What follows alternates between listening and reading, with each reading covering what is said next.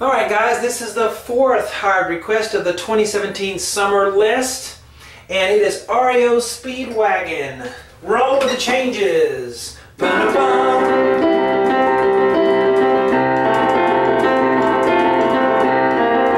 And so forth.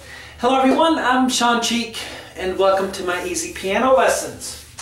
Here's the part one we're about to do in a minute. The part one lesson. All the lessons for this including the organ solo. There's an organ solo at the end, and it kind of works on piano too. I kind of show you how to adapt it for piano if you want to try that or if you have an organ sound, a gospel organ sound on your keyboard. Just take gospel organ, you can play the organ solo, it's really fun. It's not, not too hard to play. Um, but I did that as well at the end uh, in the lesson. So that is all on my website. I usually have it written here, but my Apple, Apple Pencil is out in the camper, which it's 100 degrees outside and I don't feel like running to go get it, is webpianoteacher.com. Webpianoteacher.com. All the lessons are on there with thousands of lessons that I've done over the past, I don't know, 11 years now, whatever it's been. Uh, but anyway, let's get started with our part one lesson here. Da -da -da.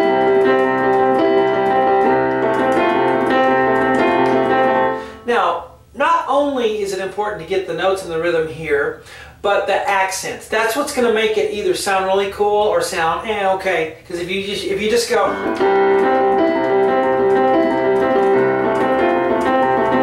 and don't go.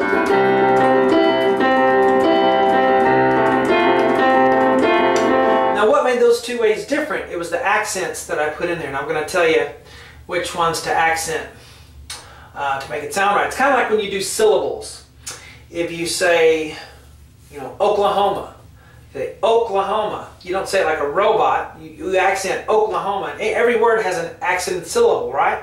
And that's what makes talking sound interesting. If someone's a great speaker, they go up, they go down, and they have pauses and all this stuff. And that's the same thing with your music, the accents that you use, what you stress and what you don't stress. I'm going to show you that. Let's get the notes first because we can't do anything unless we can play the notes first, right? So da da da. I don't hear the piano do this, but the bass certainly does it. And I like to incorporate parts and pieces of the guitar and the electric bass and uh, even some drum parts uh, into our piano arrangement occasionally to make it sound like the real thing, to make it sound like the album version. So I do that now and again. G, A with 3, 2. Then we're going to hit an octave and a fifth, which is C octave with a 2 on the G. This stuff is too hard for you and you can't just jump in and do this. I have 50 very beginner lessons from the very basics, if you don't know anything about music or piano, on my website. Uh, you scroll down the main library list to the letter L alphabetically. Final 50 lessons starts from the very beginning. But if you can jump in and try this, let's keep going. Ba -ba -ba.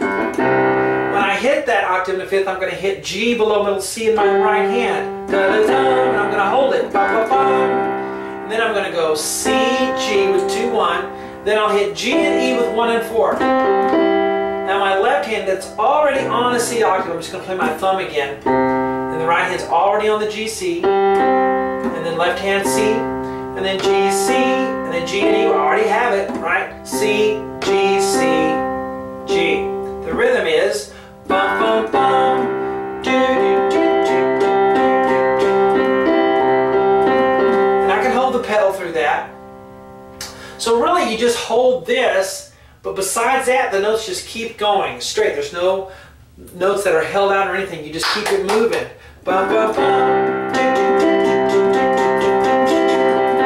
Now what do we accent? Well, let me figure it out because I just kind of play it by ear and let me see.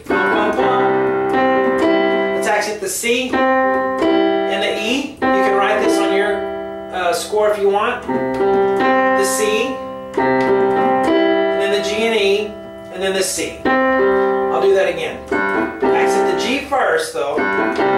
C,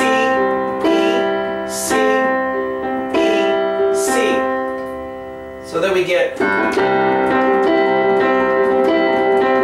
See that? You accent those. You hit, and when I say accent, I just mean hit those notes a little harder. Make the others a little softer. Okay? Ba, ba, ba. Here we go. You can work on that. Next measure.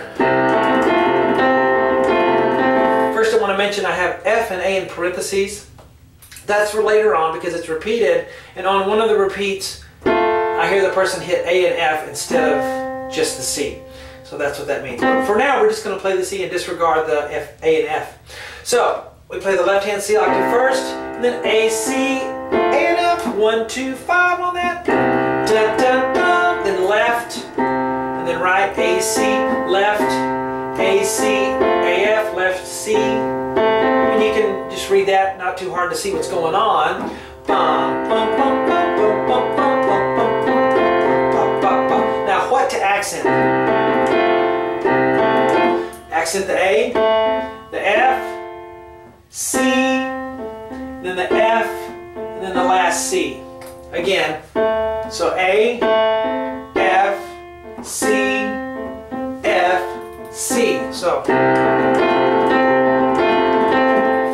you accent those and make the other one softer. If you can't accent or you have trouble doing it, how do you practice that? How do you get to that? Well, start really slow and exaggerate.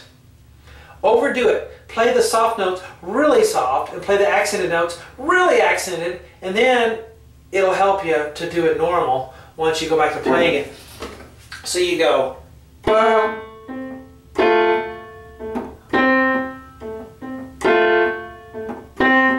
See, I overdid it, exaggerated that motion, and then it will help you to just relax and then. So I'm gonna do it two more times if I don't mess up. The first time I'm going to play it super slow and then we'll play it up to speed, okay? One, two, slow.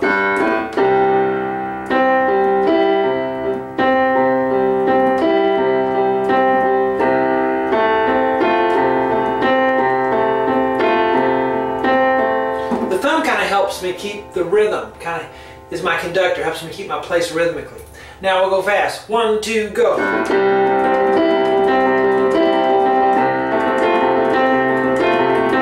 So fun. All right. So all the lessons are on my website, web webpianoteacher.com. Look me up on Facebook. Just do a Facebook search for webpianoteacher.com, and you, there's lots of lessons on there, and can also see what's coming up for the website and uh, the next ones for the higher request list of summer 2017. Hope you guys enjoyed this part one, and I will talk to you later.